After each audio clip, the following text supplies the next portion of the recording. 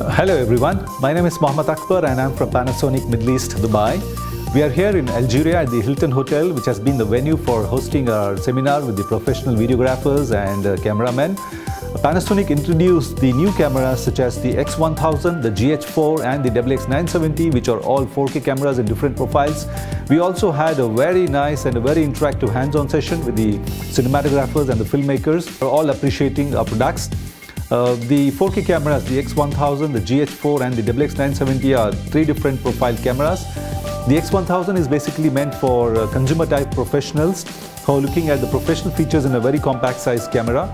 The GH4 is basically meant for the filmmakers who are looking at an interchangeable lens camera and the WX970 for the consumers who are very keen on shooting in uh, 4K format even their personal footages and playing back on their 4K TVs. We also introduced the MDH2 which has been the uh, uh, production house uh, gadget. Panasonic looks at working very closely with its professionals to take videography and filming to the next level. We're talking about the 4K and while they ask us a question uh, when there is no demand actually from the market for 4K, what is the point of we investing in 4K? Well, it was an eye-opener for them when we had the hands-on workshop today and the seminar today, thereby highlighting the advantages of recording in 4K and delivering the files in full high definition. We really appreciate the involvement of the cinematographers, filmmakers, then the production house people who had come down here today and they not just had a touch and feel of our products but they also shared their view on Panasonic.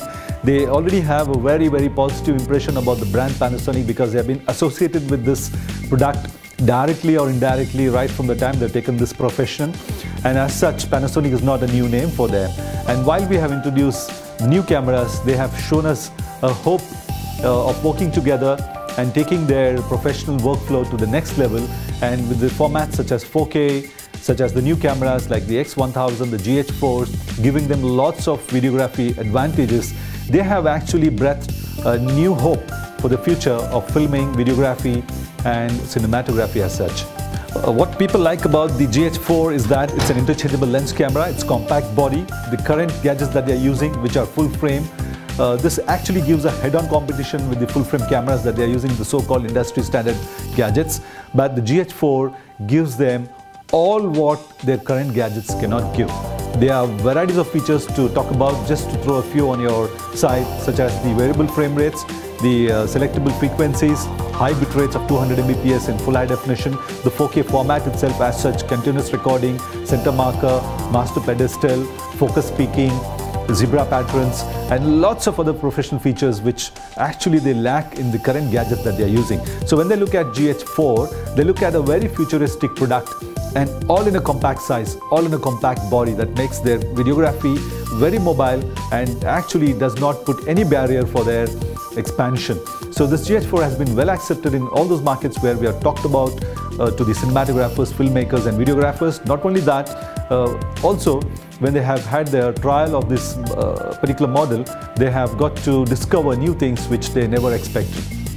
About the MDH2, the MDH2 has been a very simple production camera.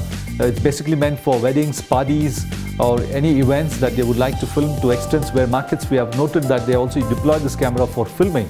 Uh, they have appreciated the camera's simple operations, the formats of full high definition which is sufficient for their markets. Two SD card slots has been something unique for them.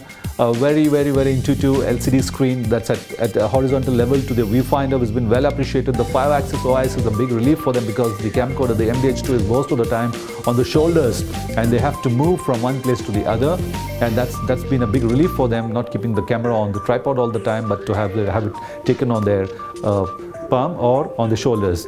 Now, other options such as the external mic input, uh, uh, external uh, headphone uh, jack for monitoring the audio levels, uh, the two SD card slots, the relay and the backup recording, the 20x optical zoom, and then the 50x intelligent zoom is well appreciated in the MDH2 and uh, the size itself as such which is very complementary to the camera, the manual ring, uh, the product as, as such being made in Japan is all well appreciated in the MDH2. Uh, what's new about the X1000? The 4K format itself as such is well appreciated because even though the consumers are not really asking contents and video files in 4K because they don't have a 4K display uh, set as such in their house, but then they're looking at something of a very high quality when it comes to, so the videographers get an opportunity to shoot in 4K with such cameras, as the X1000, and down convert the files to full high definition, which is actually way far better than the relative full high definition shot with a full high definition camera. So this gives them not only the relative improvement, but also flexibility in cropping, uh, panning or uh, downsizing all those videos from 8 megapixel to 2 megapixel. Other features such as two XLR inputs for the X1000 and lots of manual operations, three manual rings and 20x optical zoom. Uh, two SD card slots, a long extended battery that can last for six hours of video recording. It's been well appreciated and we look forward to see that their cinematography is on to the next stage, on to the next level with Panasonic products. So we are confident that we will be working very strongly with the cinematographers in the future and we have a long way to go. Finally, I would like to thank you all for your valuable time to us. See you all again.